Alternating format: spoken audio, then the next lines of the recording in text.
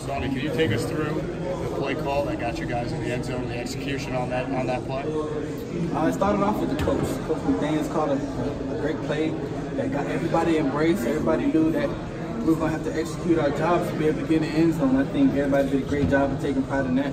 How did it feel when you got in there and you guys knew you, you had an opportunity there to, to hold on to this game? It's amazing. It's always it's always good to put points on the scoreboard, and you know that's why we play this game, and that's the only way we can win. Can you talk a little bit about the, the job that you did and the way that the line and where you guys were able to kind of, kind of dominate and just control things? You know, that was kind of our, our goal is to try to play some physical football, and offensive line did a tremendous job today. They did a tremendous job, job all year. You know, James Develin, fullback, you know, selfless guy, you know, going going out there to lay it on line for this team, receivers doing their job, and everybody just doing their job to be able to execute. A lot of your teammates have been around the Super Bowl block a few times. How does it feel for you to get a taste? It's amazing.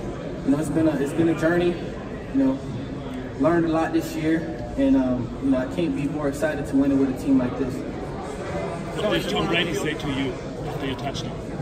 Uh, you know, he's saying good job. You know, but we still have some more football to play, so we just try to keep our head in the game and keep playing. Sony, you were on the field a long time after the game now. Were you just trying to soak it all in? Yeah, just you know, trying to soak it all in, doing some media, and um, hanging out with my parents. Hey, Sony, uh, is this is this vindication from last the national championship? You feel good about winning the Super Bowl here in the Dome? Can it? Uh, it's a different situation, but you know, there's no better feeling than winning the Super Bowl. You know, wise man told me, be where your feet are, and right now, you know, Super Bowl, the Super Bowl champs, and God is good.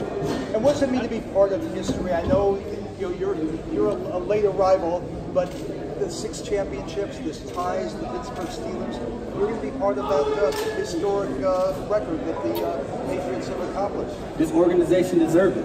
Um, you know, hardworking group of people that I've been around since I've got here, um, and you know, we just strive for excellence, high expectations, and everybody is, is, is excited, and everybody just try to do it for one another. And to score the game-winning touchdown, you've probably been asked this already, but I'm a late arrival, so maybe you can talk about it again. What does it mean to, to score the touchdown that puts the team ahead for good? Uh, it's great to put uh, points on the board. You know, this offense did a great job of executing play call, playing for each other, and just getting the ball in the end zone. In your mind, though, in your